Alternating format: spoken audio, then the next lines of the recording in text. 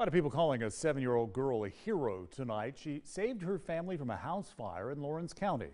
7 News' Melanie Palmer has a story you'll only see on 7 News.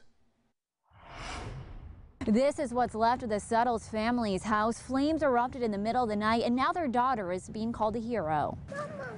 Digging through the rubble and memories, That was their bike they got for Christmas. flames left behind at the Suttles family's home. The house was filled with tons of black smoke by the time we made it out the door. All of their precious belongings destroyed. I realized that all our things that can't be replaced, you know, sentimental things, it was sad. That includes their beloved pets, a dog and cat. The fire department did bring them out and try to give them oxygen, but they couldn't save them. But Amber Suttle says she and her family are just happy to be alive. She tells 7 News they wouldn't be here without the quick thinking of her daughter, Aubrey. I was sleeping with Aubrey and Danielle, and um, my husband was asleep with our one year old.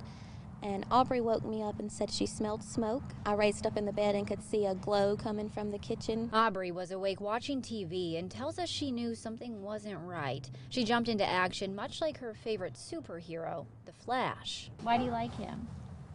Because he's fast. Mm. But to her sister and to her mom, Aubrey is the superhero here. She is our little hero, and we'll have to thank her forever because if it wasn't for her, we would have probably slept through it and wouldn't have survived. And although she is humble about her actions, How do you feel knowing that you saved your family? Good.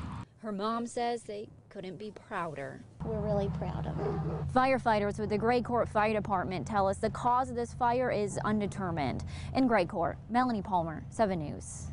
It's a really good story. Uh, other than the pets lost in the fire, crews at the Gray Court Fire Department say no one else was hurt. As you saw, the home is a total loss. The, the family is getting help from the Red Cross.